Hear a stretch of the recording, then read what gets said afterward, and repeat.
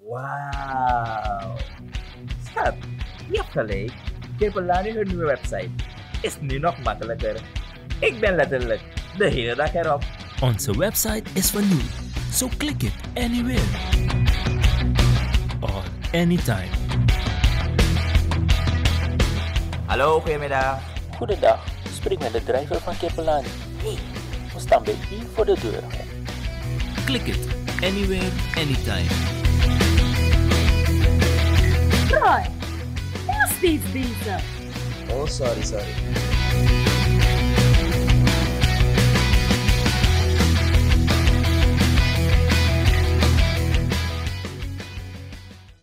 Goedendag en welkom bij een nieuwe aflevering van Q-Time. Vandaag in Q-Time te gast Shaquille van Siegem, een jonge, hele gepassioneerde Surinaamse vechter. Op dit moment zit hij in Nederland, waar we hem treffen, omdat hij op een trainingskamp zit. We praten met hem over zijn droom om ooit eens een keer professioneel MMA-kampioen te worden van de wereld. Laten we gaan kijken hoe deze jonge Surinamer het ver overzees aan het doen is.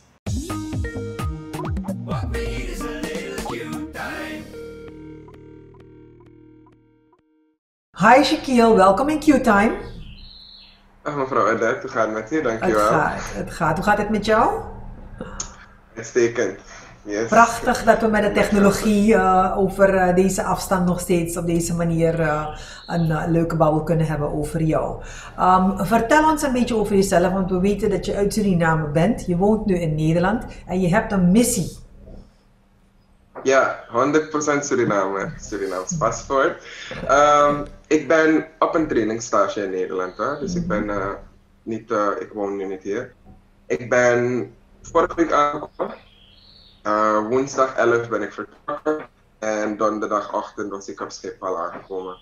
Over mezelf, ehm, pas 25 jaar geworden. Ehm een jonge ondernemer. Ik ben, ik wil, of ik heb van mijn hobby nu werk gemaakt. Ik wil professionele MMA fighter worden.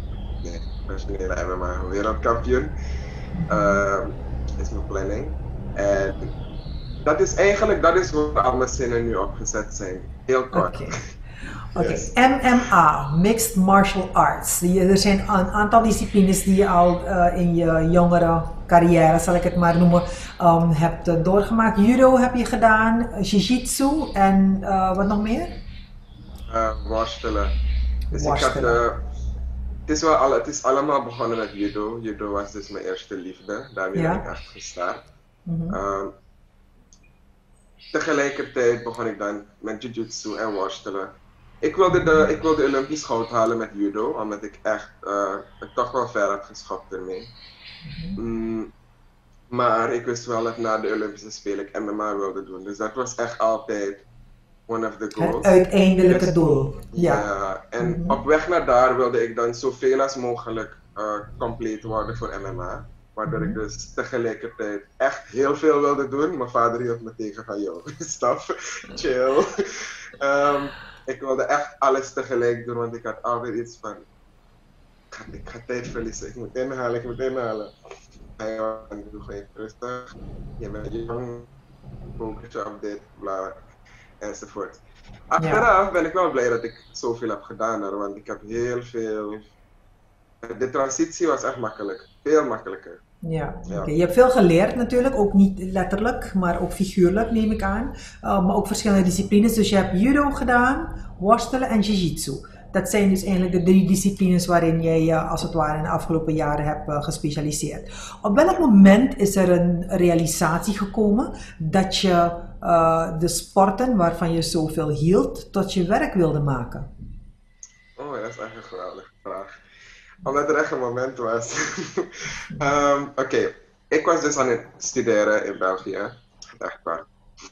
Aan het studeren in België. En um, als buitenlander heb je bepaalde requirements, waardoor het voor mij moeilijk was om topsport en studie te combineren als een Europeaan. Omdat je daar gewoon veel meer vrijstelling kreeg. En ik mocht die vrijstellingen niet omdat ik moest voldoen aan bepaalde voorwaarden voor mijn studentenvisum. Dus het, het kon gewoon niet. Oké, ik had dan toen um, besloten van, oké, ik ga een heleboel van die lessen gewoon thuis volgen. Er was nog geen Zoom, maar ik maakte mijn eigen Zoom. um, ik ga ze gewoon thuis volgen. En ik heb dus twee maanden lang getraind als een professional voor Brazilian Jiu-Jitsu. Um, getraind als een professional. Twee keer per dag. Um, weinig naar school. We hebben, we hebben ook maar twee examenperiodes, dus dat is wel gewoon oké. Okay. Weinig ja. naar school. Um, ik ga dus trainen naar de Europese kampioenschappen toe. Dat is een, ja, het, was, het is een groot toernooi, mijn eerste toernooi op wereldniveau. In twee maanden tijd dat ik gewoon even, niet eens genoeg is, heb ingezet als een professional getraind, heb ik gewoon het toernooi als de eerste en enige Surinamer gewonnen. Maar je mag dus als Surinamer wel meedoen aan een Europese ja, uh, competitie? Ja, dat, Zo, dat zou ik net zeggen. Het ja. is de Europese kampioenschap. Maar Brazilië Jiu-Jitsu heeft dus geen vaste federatie, net kickboxing, waardoor je wel mee mag doen en uh, die titel mag winnen. Ook in Brazilië Jiu-Jitsu mogen Europeanen ook meedoen aan de Pan-Amerikaanse kampioenschappen. Mm -hmm. Dus het staat gewoon op je naam. Dus okay. vandaar dat ik wel uh, mee mag doen. Ja. Toen ik dat had gewonnen, um, ik betaalde alles zelf in Europa, in uh, België waar ik woonde. Ik was al, um, ja, ik was volledig zelfstandig, want mijn ouders uiteraard betaalden de eerste jaren. Um, ik betaalde alles zelf. Was dus was het besluit van, hey, kijk hier, ik, ik zet me echt, ik heb me volledig ingezet. Ik heb het resultaat gehad.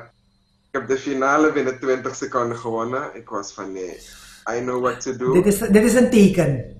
Ja, niemand gaat me iets anders wijsmaken. Het is een, het is niet de normale manier om dingen te doen. Om op hier, vooral vanuit Suriname, een droom te hebben om professional fighter te worden. Maar dit is echt voor mij het bewijs dat ik het kan, dat ik altijd gelijk had dat ik het kan en dat ik dat wil en dat ik dat ga doen. Dat, dat was het moment. Mijn vader hoeft me niet meer te bellen om te zeggen dat ik het rustig aan moet doen. Dit is wat het gaat worden. Dus dat was het moment. Hè. Dus het, het winnen van de titel heeft eigenlijk jou gemotiveerd om te zeggen: Dit is my stepping stone to the next level. Ja, dus het was, het was eigenlijk iedereen die, niet ja, iedereen, maar gewoon normaal ook.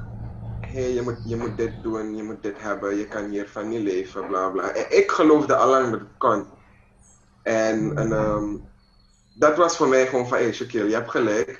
Volg je eigen intuïtie. Ja. Do you. Je hebt echt 100% gelijk. Um, je kan het. Dat, dat was echt het moment, ja. Het Ja. was niet echt motivatie, maar echt zo van, hé, hey, nou.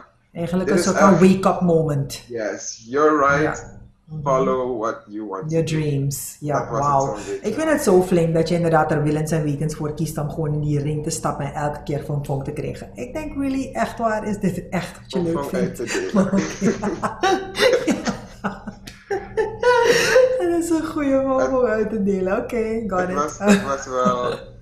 Het besluit werd ook makkelijker omdat ehm, ik heb natuurlijk een gesprek gehad met mijn ouders. Ze zijn heel erg close, mijn familie, ze stonden achter me. Mhm. Over Fong Fong, mijn eerste MMA-training, ik kom ietsje dichterbij, Oké. heb ik een slag, misschien is het niet zichtbaar. Nee, eerste het is niet training zichtbaar. heb ik een pad gehad hier, een slag. En Een was training, niet eens een wedstrijd, een training. Eerste training. Oké, is goed. Ze waren wel boos op die jongen, want, Ja. het, het probleem is, die handschoenen zijn zo klein. Ik Ja. had niet eens door dat het, dat het gesneden was. Dus ik was Ja. op de grond en ik zag bloed druppelen. Keek in de spiegel. Ik dacht, oh jee. Battle scars heet dat. Ja, Battle scars. Maar dat was het enige hoor. Oké, ja, oké. En, nu, en nu komen de wedstrijden. Goed, hey, je staat aan de vooravond van inderdaad mooie dingen die gaan gebeuren in jouw eh, carrière. Eh, MMA, uiteindelijk een, ehm, eh, het einddoel is MMA professional fighter te worden. Ik weet dat er een aantal Surinaamse eh, vechters jou zijn voorgegaan, die dit al hebben geprobeerd, die ook prachtige resultaten in eh, de delen van de wereld hebben behaald.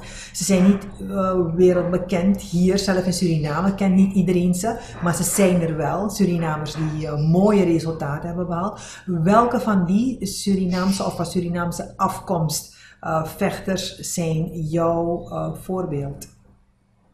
Um, ik, ik zoek echt op, ik, en, um, ik doe echt onderzoek naar Surinaamse atleten van nu. Mm -hmm. um, met wie ik ben opgegroeid, dus de bekende, het is sowieso ja. met Tyrant Spong.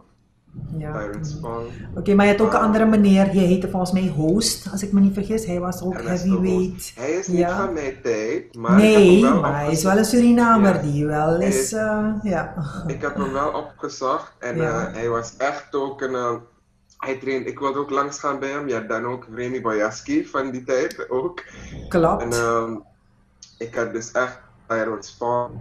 Ehm, Ja, een beetje jonger. eh, ehm, hoe heet hij ook alweer? Um, ik ben zijn naam even kwijt, ik kom zo. Donovan Wisse misschien. Ja, nou hoor al die namen die jij zelf noemt. Dus er zijn genoeg Ja. die inderdaad wel wat hebben betekend voor eh, Surinaamse vechters in het buitenland. Ja, Welke ja. van die En, eh, zijn jouw ehm, ja, voorbeeld, zou ik maar zeggen, of inspiratie? Ehm, ik kijk wel, ik, ik hou echt van allemaal, maar mijn voorkeur, ja, voorkeur. Ik heb Is- echt iets meer met de mensen die in Suriname hebben getraind. Ja. Zoals in Suriname hebben getraind, alles hier hebben opgebouwd en daarna weg zijn gegaan. Ja. En nog steeds de vlag dragen. Dat zijn dus Biggie Boy, Donovan Wisse. Zijn ook van mijn generatie. Ja. Risky, um, Anthony Meekroyd toen de tijd. Maar Donovan en ik, we zijn Ja. toch wel, we kennen elkaar redelijk goed. Ja. Maar hij weet ook dat ik echt wel. En Biggie Boy heeft, heeft letterlijk alles bereikt vanuit Suriname. Ja. En ja, dus die is echt, eh, ik kijk wel, die mannen daar me volle steun. Is zo erg dat als Biggie Boy of Donovan Wisse tegen Hercules zou vechten, ik toch op hun zou wedden, echt waar. Maar dat moet, even serieus, Ja, het maakt niet uit hoor. Je moet gewoon Zo, nog echt. steeds hè, achter hun staan. Dat, nee, dat, nee, ze. maar iedereen in Suriname moet dat. Dus without Ja. question. Mag niet voor iemand anders kraken. Niemand kan me Ja. zeggen over ze, echt waar. Shaquille, enorm veel passie voor wat je doet. Dat hoor ik gewoon in je stem. What is your next step? Ehm, Oké, dus nu, ik heb de eindfase bereikt van mijn transitieperiode. Het, het was wel, ehm, ik had alles wat, ehm, wat te maken had met het worstelen, judo op de grond, zo'n beetje verwerkingen, dit en dat. Maar het slaan en trappen had ik nog echt totaal niet. Dus ik heb twee jaar de tijd genomen, was ook allemaal mooi netjes ingepland. Vanaf 2018 tot nu, twee jaar de tijd om het volledig pakket die ruwe diamant echt wel even te slepen. En nu ben ik dus wedstrijd ready. Oké. Op kort termijn, sorry. Op kort termijn moet ik gewoon vechten. Vechten, vechten, vechten. Ik zou over 10 dagen, dus 27 november, 11 moeten vechten. Mhm. Maar Nederland kreeg toen een derde, vierde. Wave van corona. Ja, dus ze oké. hebben ehm, dat gewoon even verschoven. Die Ja. promoters staan ready. Woensdag, ik denk morgen, praat, de, praat Rut met Mark Rutte weer even eh, over de nieuwe maatregelen. Ja. En hopelijk iedereen denkt dat we weer gaan mogen trainen. Ehm, ik, train dus, ik train dus wel al. Uh, maar ik, mik, ik denk dus dat midden december of midden januari dat ik dus vecht en dan is het. Ready for action. Oké, goed. Ja. We gaan je volgen. Daarna is er gewoon een kleine, op long-term gebied, ook heel kort. ehm 2021 doe ik vier wedstrijden en ga ik dus pro.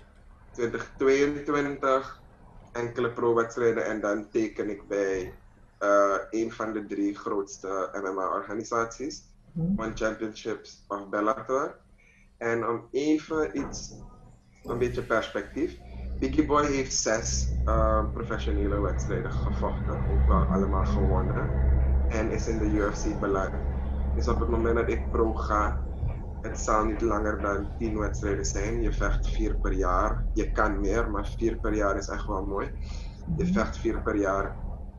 Het, eh, 2023 ben ik dus echt wel wereldkampioen. Ik, eh, Ehm, ik vind het geweldig. Je hebt je pad helemaal vast, uitgestapt. Ik vind het gewoon geweldig dat je dat hebt gedaan. Nee, dankjewel. Eh, eh, ik, ik kan me niet zo goed voorstellen nogmaals, maar ik vind het wel geweldig en we zijn wel trots op je. Dus, um, Hercules, Nospan, we've got your back. nee, dat zeker. Oké. Okay. Shaquille, dankjewel voor een prachtig gesprek. Very nice, uh, very inspiring. Veel succes op je trainingskamp. Uh, ik weet niet als je terugkomt binnenkort of als je toch wel voorlopig daar nog even blijft. Um, anyway, zullen we je blijven volgen. Yes, hartelijk bedankt. Ik kom wel terug. Ik ben er maar voor drie maandjes. Um, ja. Ja, ik, zoals ik zei, Surinaams paspoort. Ik kan niet zo lang blijven. Okay. maar ik wilde ook gewoon zeker terug. 20 januari ben ik terug. Uh, blijf ik weer vier, vijf maandjes en daarna ga ik uh, weer op trainingskamp. maar ik, dat, dat zal het een beetje worden. Ja. Okay. Nee, maar, maar dankjewel. We gaan, het, we gaan het horen, we gaan je volgen. Is spannend. nee, dat zeker. Ja? Dankjewel okay. voor... Uh, Thank you, succes met de dag. Thank you. Thank you.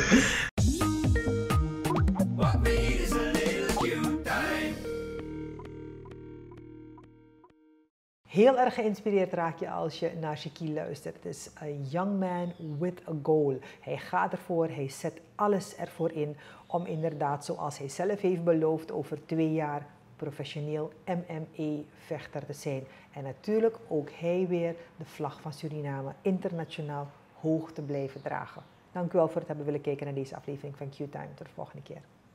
Wauw. Schat, je. Kirpelani hun nieuwe website is nu nog makkelijker. Ik ben letterlijk de hele dag erop. Onze website is van nu, so click it anywhere or anytime. Hallo, goedemiddag. Goedendag, spreek met de driver van Kirpelani. Hey, we staan bij u voor de deur. Click it anywhere, anytime. Roy, steeds bezig. Oh, sorry, sorry.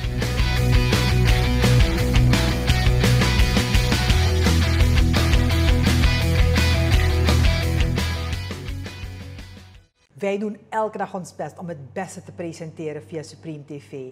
Hopelijk geniet u ervan. If so, subscribe, like en share.